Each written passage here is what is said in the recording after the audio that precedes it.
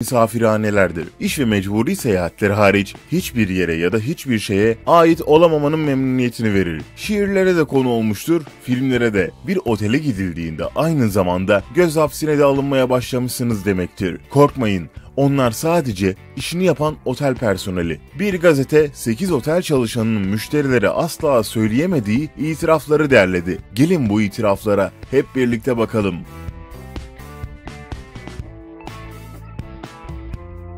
10 numara. Odanızı değiştirebilirsiniz. Odanızı beğenmezseniz ya da kirli olduğunu düşünürseniz çalışanlara durumu bildirerek odanızı değiştirebilirsiniz. Sizi memnun edebilmek için daha güzel bir odaya yerleştireceklerdir. Bu kararı valinizi boşaltmadan önce vermeniz hem sizi hem de çalışanları zaman kaybından kurtarır. Çalışanlar genelde bu hakkı bilmenizi pek istemiyorlar. 9 numara. Kat görevlisine dikkat. Kat görevlinizi görmezden gelmeyin. Size fazladan ve bedavaya su verebilir. Arabanızı ücretsiz park edebilir. Ücretsiz tur ve kuru temizleme hizmetinizi almanızı sağlayabilir. Hatta odanızı bile daha iyi bir odayla değiştirmenizi sağlayabilir. Geç saatlerde otele giriş yaptığınızda ya da gece karnınız acıktığında size yemek bile getirebilir. Tek yapmanız gereken şey sormak. 8 numara Ölümler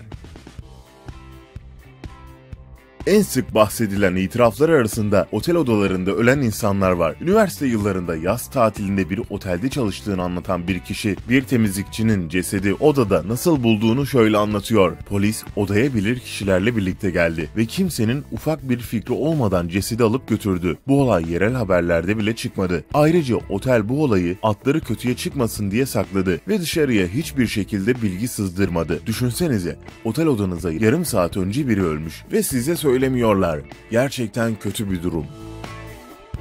7 numara Ünlüler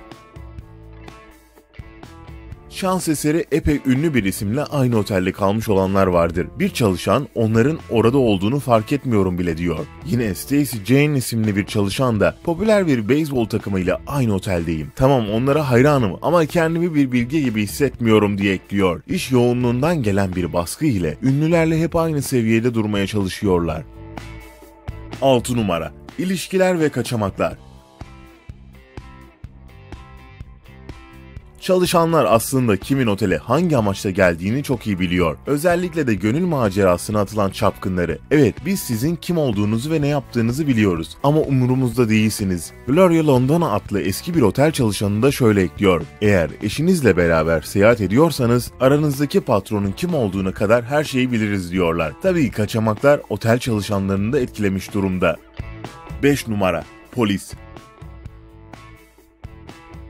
İyisiyle kötüsüyle bütün otellerin polisle güçlü bir dirsek teması vardır. Bu durum müşterilerin lehinedir. Bir personel bunu birçok insanın bir araya toplandığı yerde sorunlar da ortaya çıkar diye açıklıyor. E nerede çokluk demişler. Görevliler ayrıca adli olaylarda polis memurlarının, otel çalışanlarının iyi birer yargıç olduklarını düşündüklerini ve onların fikirlerine her zaman saygı duyduklarını ve ihtiyaç duyduklarını belirtiyor.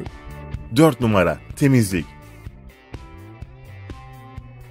Bir görevli bütün uyarılara ve yasakların tekrar tekrar hatırlatılmasına rağmen müşterilerin yatak örtülerinin üstüne yattığını söylüyor. Hem de yatak örtülerinin asla yıkanmadığını da belirterek. Aynı görevli otele gelen müşterilerin bardakları mutlaka kontrol edip kullanmalarını ve şişe içeceklerin ağızlarının sıkı olup olmadığını kontrol etmeleri konusunda uyarıyor. Yatak altı veya ulaşması güç ve zor temizlenen yerlerle temas edilmemesinin de altını çiziyor. 3 numara İptaller